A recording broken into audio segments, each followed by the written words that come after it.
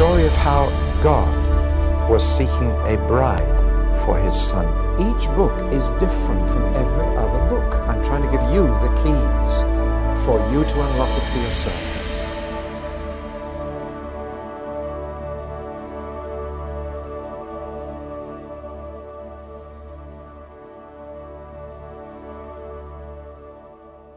We're working through the three main themes in the first letter of Peter. And in the last talk, we looked at the salvation, which we need to have as a sure foundation when the pressure comes. We looked at the suffering and how to handle that. But the surprise in the letter is the emphasis on submission, on learning to give in, learning to accept what happens. But it's not just in relation to suffering that Peter emphasizes this. He says, first of all, learn to submit to the authorities, the civic authorities. You are citizens, you are subjects. So honor the emperor. Pray for the king, for the governors, whether national or local. Christians have a duty to be law abiding citizens. And we should be known for that as those who are glad to pay their poll tax because it brought Jesus to Bethlehem to be born, but also because we are paying for what we receive and we're glad to do it. Christians should not be among those grumbling about taxes. And we honor the authorities, should pray for them, and we should be known as loyal subjects. Now, that does not mean that you do everything you're told. There is a limit to obedience to civic authorities. And it was Peter himself who once said, We must obey God rather than men, when he was told by the authorities to stop preaching Jesus in the streets. And he said, We must obey God rather than men. So there is a limit to submission. And that limit comes when the authority tells us to do anything immoral or illegal against the law of God. And so there are limits. But a Christian must be a loyal subject and should not be arrested because they are rebellious, because they're aggressive towards the authorities. You see, that's one of the first sources of the suffering from the civic authorities. Another source of early Christian suffering was for slaves from their unbelieving masters. That was a very difficult position because a slave was totally the property of his master. He had no money of his own, no time of his own, no rights of his own. And many of the masters treated their slaves abominably. And when the slaves became Christians, the masters treated them worse because they thought their slaves were getting too big for themselves and must be kept down. And he says, Slaves, submit to your masters. Learn to give in. Don't fight it. Don't become aggressive or resentful towards it. And even, he says, the harsh masters, not just the good ones. You know, some people believe in submission provided the person you're submitting to is a good person. But he said, no, even the harsh masters. Then, thirdly, another great source of suffering was Christian wives of unconverted husbands. And that is a very difficult situation and causes great heartache. Wives, be subject to your husbands, even the unbelieving ones. And in fact, Peter gives great advice on how to win your unconverted husband for Christ. And it's totally contrary to what we tend to do.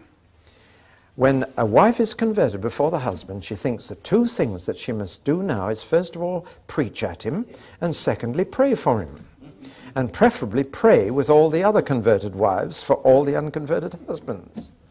Peter says neither. In fact, he says if you preach, it's the worst thing you can do. He says you've got to win him without a word. And so many Christian wives go home after church and say, You should have been in church tonight. That pastor might have been just going through your life. you know? And. Um, most Christian wives, after about three months, regret having preached to their husbands. You do it without a word.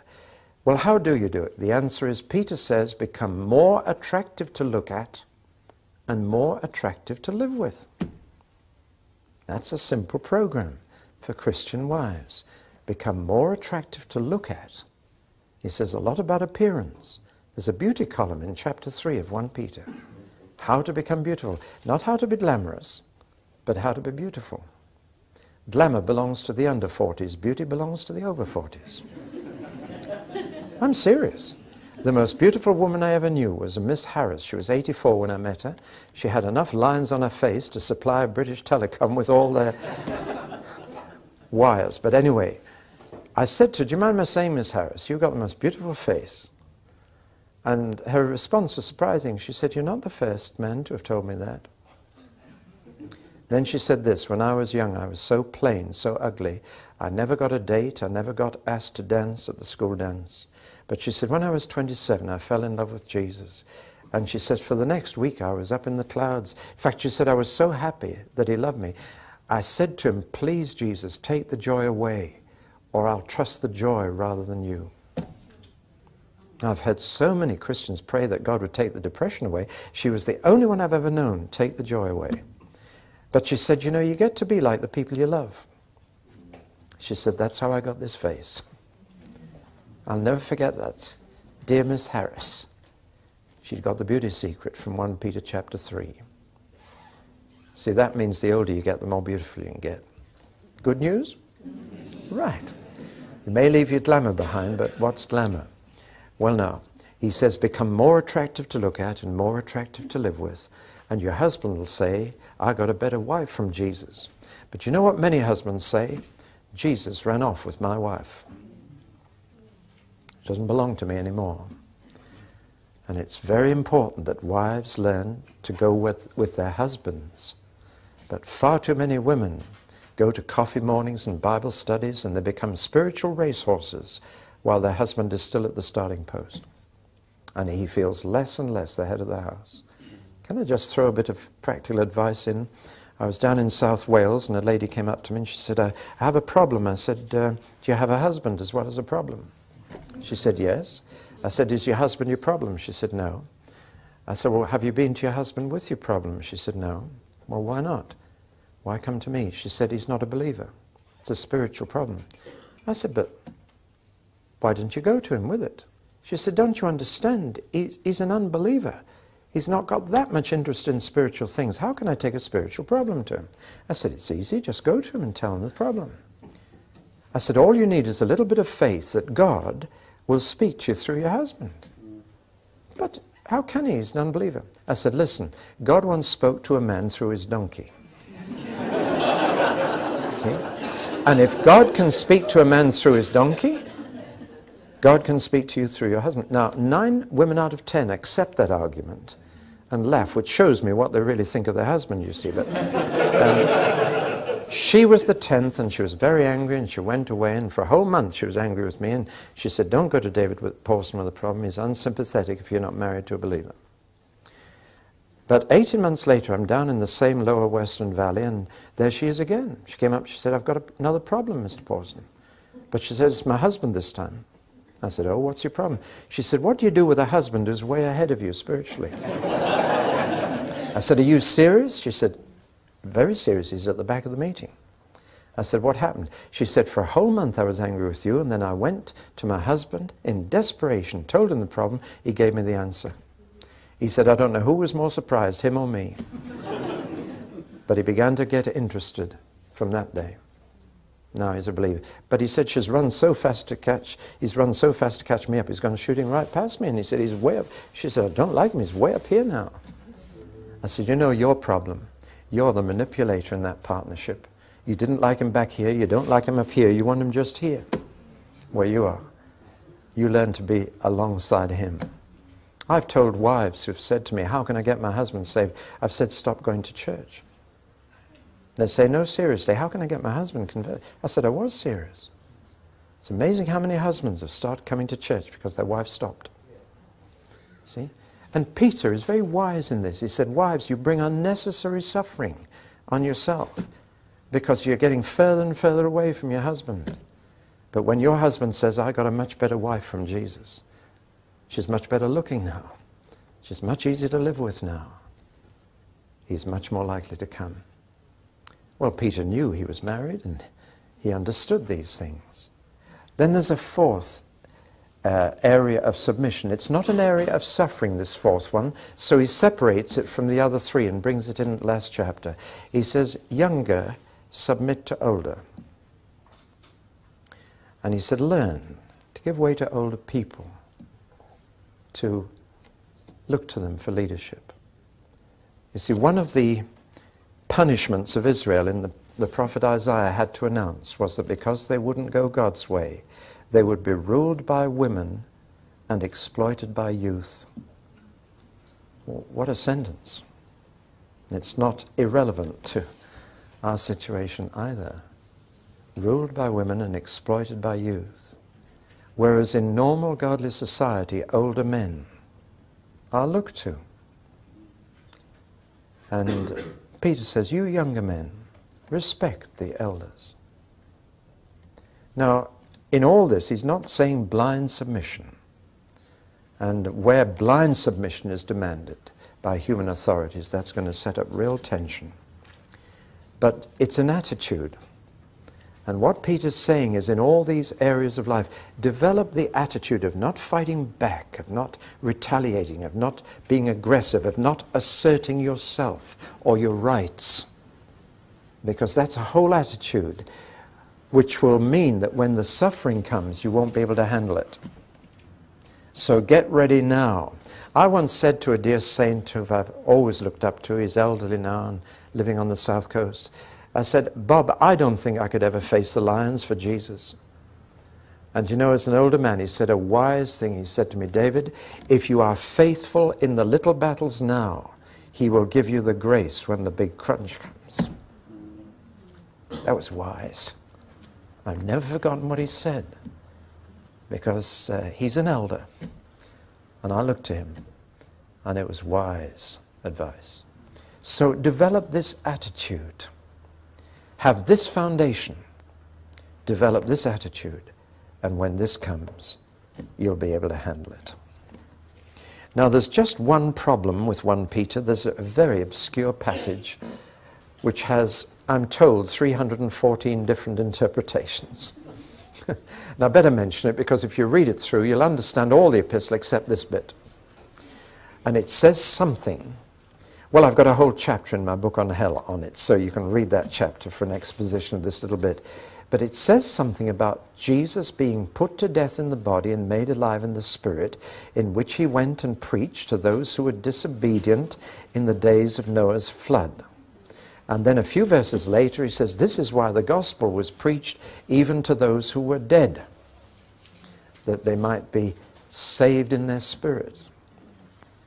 And I'm afraid, on the basis of this passage, liberal preachers have based their doctrine of a second chance of the gospel after death, which every other scripture says is impossible. Death seals our fate. There's a great gulf fixed beyond death. But here, apparently, Jesus did preach. And I find that the trouble with the, all the many interpretations is that people are trying to get round the simplest, plainest meaning of it because it, it is an awkward passage to fit in with the general teaching of the scripture that death is the end of your opportunity of salvation. And yet, if you take it at its face value, and I always start by taking Scripture in its simplest, plainest sense, and only changing that if it really is difficult. And in its simplest, plainest sense, it says that between his death and resurrection, Jesus was active, conscious, and actually communicating with others who were also fully conscious and communicating with him. Now, of course, you never hear about this in church because all Holy Week services finish on Friday and start up again on Sunday. So you're never told what Jesus was doing on the Saturday. Right? But you see, we tend to think of Jesus doing nothing between his death and resurrection, being just unconscious, inactive in the tomb. But it says only his body was dead, but his spirit was very much alive. And he went to the world of the dead and he was preaching. I can imagine Peter meeting Jesus on the first Easter Sunday. We know he met Peter. We don't know where, we don't know when, we don't know what was said, but I'm imagining now, but I think I'm not far off. I think Jesus, Peter said, Jesus, where on earth have you been? And Jesus said, I haven't been on earth. I've been in Hades, Sheol, the world of the departed. But what on earth have you been doing? For, sorry, what in Hades have you been doing for three days and three nights? Actually, it was three days and three nights. Jesus died on the Wednesday afternoon. All the evidence points there. Uh, we've been fooled because he died the day before the Sabbath, but it was not the Saturday Sabbath. John's Gospel says, now that Sabbath was a special high Sabbath, and the Passover began with the Sabbath. And in the year AD 29, which is almost certainly the year Jesus died, the 15th of Nisan, the first day of the Passover, was on a Thursday and was the Sabbath. And the Wednesday would be the 14th, the eve of the Passover. Well, that's just my theory, but it fits all the evidence better than all the other theories. Doesn't matter really what day Jesus died on, he died for you. That's the important thing. But he said it would be three days and three nights, and you cannot fit that in between Friday afternoon and Sunday morning. But if he died at three o'clock on the Wednesday, and he rose between 6 p.m. and midnight on the Saturday, every bit of the gospel evidence fits. And of course, 6 p.m. on the Saturday evening was the first day of the week we will think in terms of Roman calendar instead of Jewish calendar. But that was the first day of the week, and long before dawn, the tomb was empty. Well, that's just an aside. But if, if you don't accept that theory, you will have problems with some of the data in the New Testament. It does all fit. There is a way to see round these contradictions or apparent contradictions. But leave that aside. What was he doing for three days and three nights? And Jesus must have told Peter, I've been preaching. Who to? Eh, all those who were drowned in Noah's flood. Now that means that those who were drowned in Noah's flood were also conscious. You will be fully conscious one minute after you're dead. You will know who you are, you will have your memory. It's only your body that dies, not your spirit. Death separates body and spirit. Later, spirit and body will be reunited in the resurrection but much later for us. But Jesus went through all three phases in less than a week. He was an embodied spirit until he died on the cross. Then he commended his spirit to God and his body was put in a tomb. Alive in the spirit, he went and preached to those disobedient people from Noah's flood. And then his body and spirit were reunited on Easter Sunday morning. But he was fully conscious and able to communicate all the way through. That's very, very important. It's only the sects who teach soul sleep in between the two bodies. That's another story. Now then, if we take that at face value, it does mean that Jesus went and preached the gospel to that particular generation and only to them. And it does clearly imply that it was a gospel that could save them and redeem them. So, isn't this a second chance after death? I'm prepared to say, yes, it is. For them and for them only.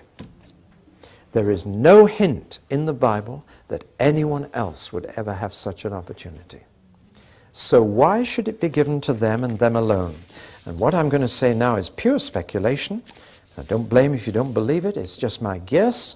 When I get to heaven, I'll, I'll check it up and then I'll tell you whether I was right or wrong. but this is my guess. There was one generation who could accuse God of being unjust and unfair. You wiped us out and then promised never to do it again. And I believe God, to cover his justice and his righteousness, said, Son, just go and tell them the gospel. I won't have anyone in the day of judgment accusing me of treating anybody unfairly. Well, that's my guess. But I know a God of righteousness who bends over backwards not to be unfair, not to have favorites. And maybe that's why. But I believe it's better, rather than to try and twist Scripture to fit our system, to accept it in its simplest, plainest value, but limit it to what it says. And there is no ground here for a second chance for anyone else what Alfred Lord Tennyson, whose centenary we celebrate this year, called the larger hope. The hope that we'll all get a chance after death. That's universalism, and that's not taught in the scripture. Well, that's 1 Peter. Now I'm going to move on to 2 Peter, the second letter he wrote. And we're back to a, a little diagram, but one that's very much easier to understand. Sorry I gave you such complicated ones in Hebrews and earlier, but here's one I'm sure you can all understand perfectly plainly. But the second letter of Peter, don't try and copy it all right down straight away, because I'm not going to refer to this for a few mo- moments. The second letter of Peter deals with a totally different situation. Same people, but a few years later. It's different in style, and those differences could well be that he's using a different secretary, a different amanuensis. And indeed, he says he was using Silvanus, Paul's secretary, who probably knocked it into shape. But the similarities are all there. Peter's favorite words still appear in the second letter as well. Some scholars say the second letter is not by him. I believe it is by him. Do you know Peter's favorite word? All preachers have favorite words. All you have, Chris. I've noticed them already. you must have noticed mine. Do you know what Peter's favorite word is? I think it's one of his favorite words as well. Precious. Right?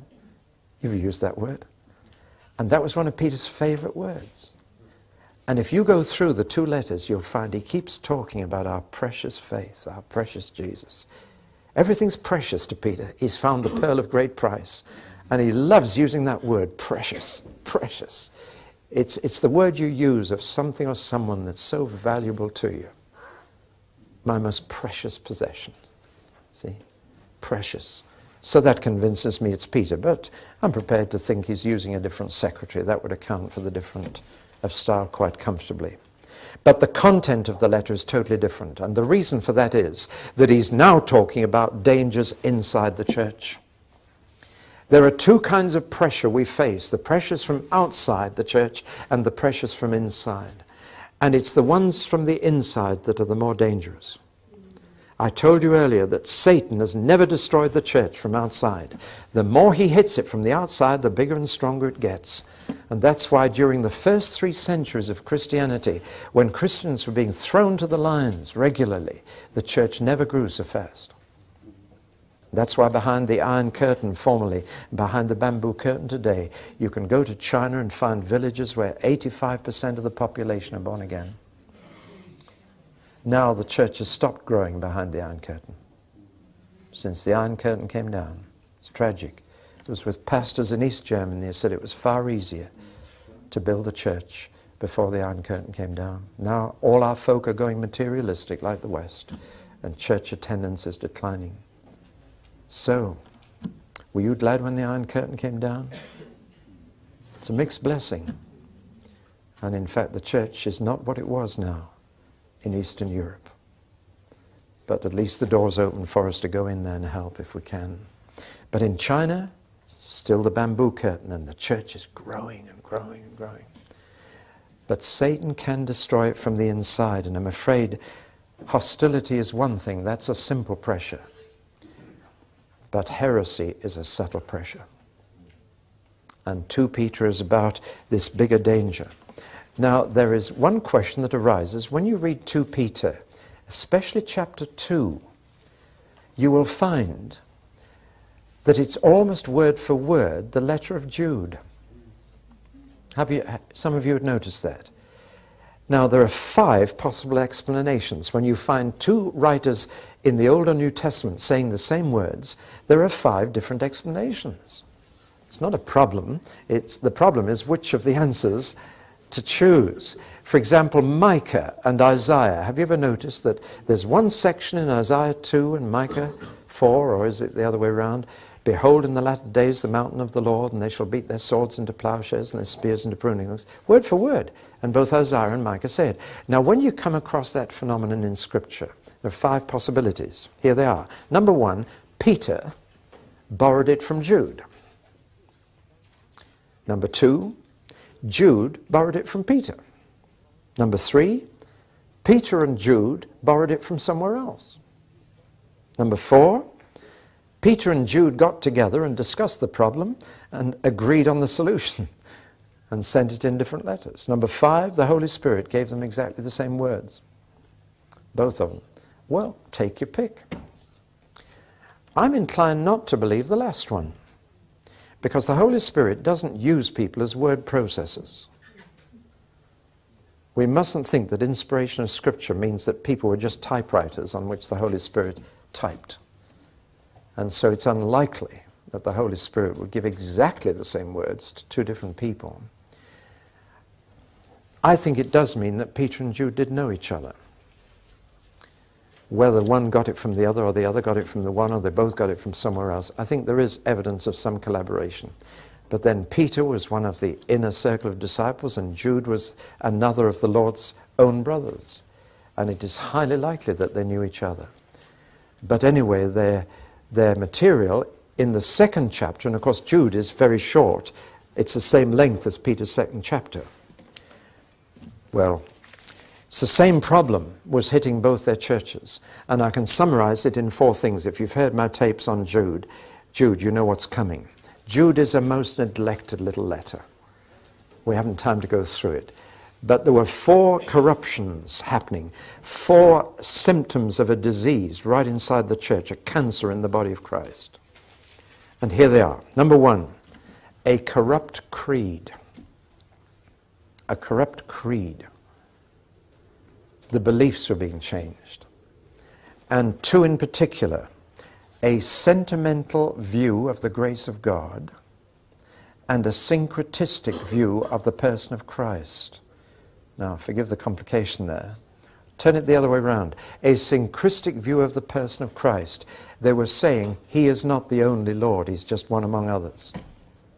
Compar- comparative religion. He is a way, but there are many other ways to God. He is not the only way. That's that, that word only which is the offense, you know. So they were corrupting the person of Christ and saying he's a way, not the way. And then they had a sentimental view of the love of God, the grace of God, which says, God loves to forgive you, so it doesn't matter if you sin. Now you can imagine what that would do.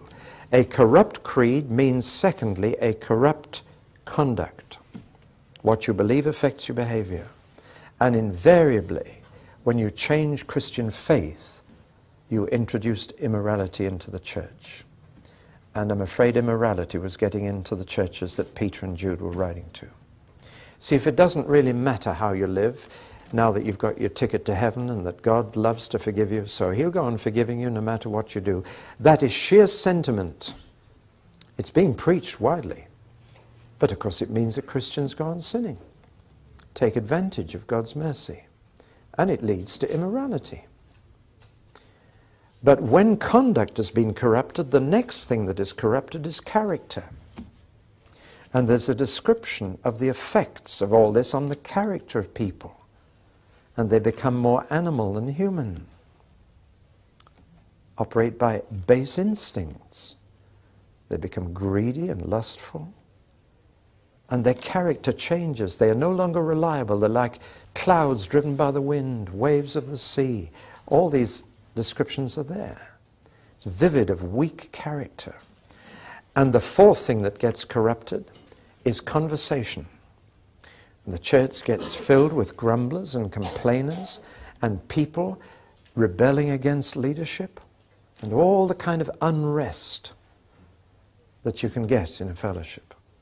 Now, both 2 Peter and Jude go through this the corrupt creed, a change of belief a corrupt conduct that follows from it, immorality, a corrupt character that weakens people's character and personality, and a corrupt conversation that issues from that weak character, so that you get a general unrest and a grumbling and a complaining and talking against leadership. Now, all that's devastating.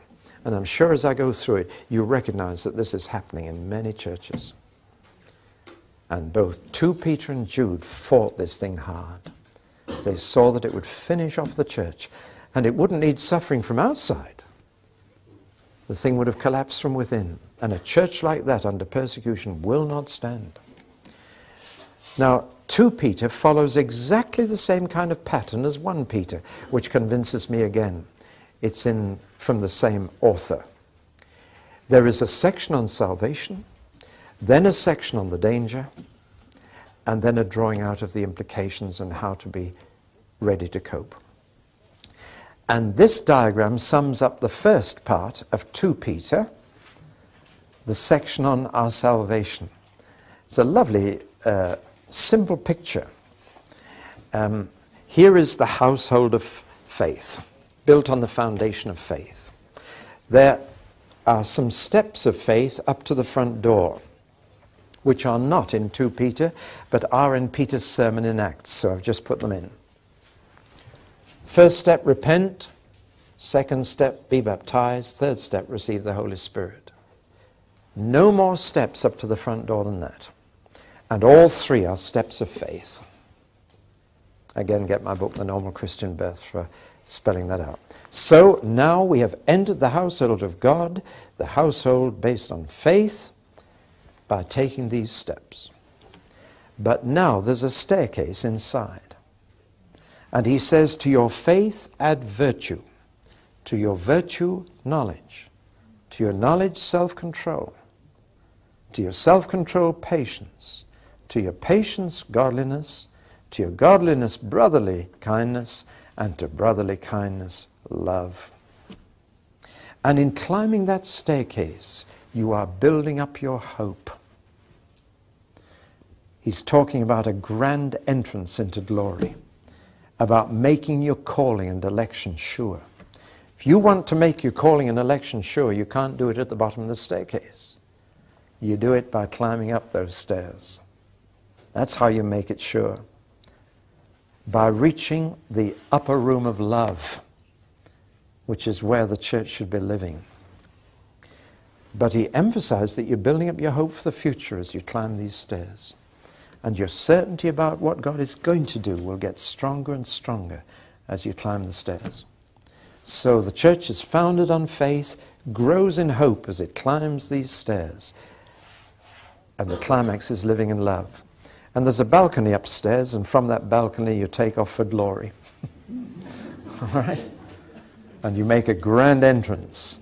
A rich welcome will be given you in heaven. So it's really saying progress. Don't sit down in the sofa on the ground floor. Climb the stairs. Live in the upper room. Get up there as quickly as you can. In other words, the answer to heresy is maturity. People down here are vulnerable to false teaching on the ground floor. The higher you go, the more you're living up here, then the less you are vulnerable to heresy and false teaching. But if you listen to false teaching, you'll find yourself going out a back door and slipping down a slippery slope and falling. And he says some pretty severe things about this. He says, It would be better for you never to have known the way of righteousness. Better for you never to have entered than to fall. And he has some pretty crude remarks about a dog going back to lick its own vomit. You've seen a dog do that? He said, That's what you're doing. You came from sin, you're going back to it. You're like a dog going and licking up its sick. Or you're like a pig that's going back to wallow in the mud after you've bathed it and washed it. Vivid. But take those words seriously. It's better never to have known than to fall away. To fall from grace would be better if you'd never heard about grace. Better for someone who's never heard than someone who has and goes back to their own sick and their own mud. And that happens through false teaching, which erodes the foundation of faith. So, uh, alas, there are some people who come in the right way and go straight across and out the back door and slip or at some later stage do that. And there are those who climb the stairs, get stronger in hope, and reach the room of love and take off for glory. These go back under the wrath and judgment of God. These enjoy the sunshine of His grace and favor. That's quite a message, isn't it? Then the final chapter in 2 Peter takes this whole notion of hope for the future one of the pressures inside the church that they were having were people who say, all this talk about the second coming and all this talk about, you know, Jesus coming back. Well, where is he? And already in the first century, people were saying, well, where is he? And if they said it then, how much more people can throw it at us today? 2,000 years, and he's still not back. See? And scoffing is a very difficult thing to handle when people make fun of your faith, isn't it? And Peter, in the third chapter of his second letter, says, These scoffers, they say, Where is the promise of his coming? All things are just as they were at the beginning, nothing's changed. And I'm afraid people say to us, Christianity's been in the world 2,000 years, and look at it. Nothing's any better, nothing's changed. Ah, but we still have hope. And our hope is this that one day all this universe is to be dissolved in fire. There's to be another Holocaust. And it's not this time to be a flood of water, but a flood of fire. I just imagine not that it would be a nuclear war, but that God would just release all the energy in every atom. He packed the energy into the atom. All he'd need to do would be to unlock it. The whole thing goes up in smoke. And then it says, but out of the fire, like a, a, phoenix rising from the flames, there's a new heaven and a new earth. I love preaching about the new earth.